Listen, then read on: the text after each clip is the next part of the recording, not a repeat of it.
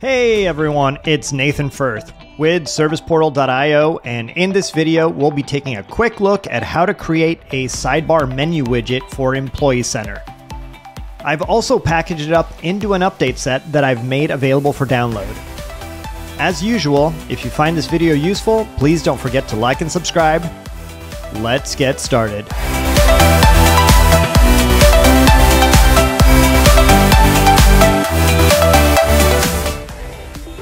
So, first off, I wanted to take a quick look at what a full featured sidebar menu can look like in Employee Center. In this version, I've configured the menu to expand on hover. You can also navigate across multiple tiers of menus. And it works beautifully on mobile, complete with support for mobile gestures as well. But in this video, we'll be keeping it simple, as this implementation goes well above and beyond what I can walk through in a tutorial. Alright, let's take a look at what a basic implementation of the sidebar menu can look like. It uses a fixed header and sidebar while allowing the content to scroll as expected. It also supports pages where you have a container that has been moved into the header like the breadcrumbs and search widgets. And now, if we take a look on mobile, you can open the sidebar via the hamburger icon. You can close the menu as well by clicking the veil or by navigating to another page. Keep in mind, I try to keep it as simple as possible to demonstrate the concept, but this is far from a complete solution. So now let's take a look at what's needed to make this all work.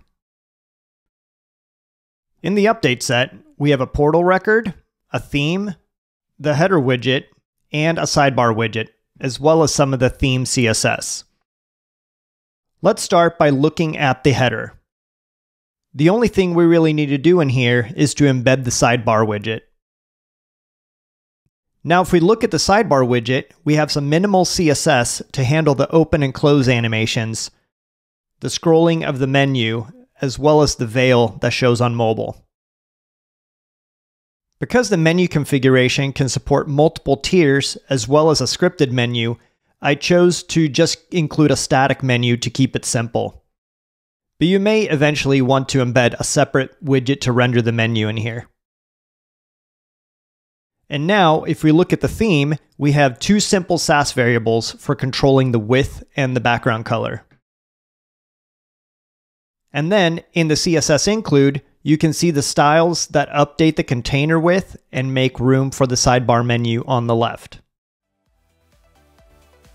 And there you have it, a simple and concise implementation of a sidebar widget for Employee Center.